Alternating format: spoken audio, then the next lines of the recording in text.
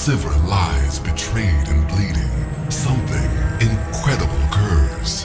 For though she does not know it, Sivir is the last in the bloodline of Azir, Shurima's lost emperor. And as her blood soaks into the ancient sands, a deep magic sparks to life. Resurrection. First Azir's mind, then his body, snatched back from oblivion to be reborn.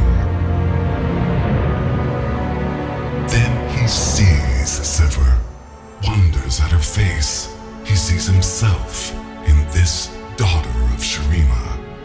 In that moment, he has no thought of empires or rituals. He only knows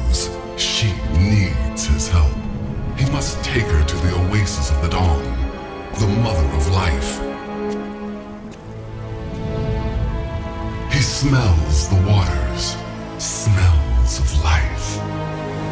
He prays he's in time.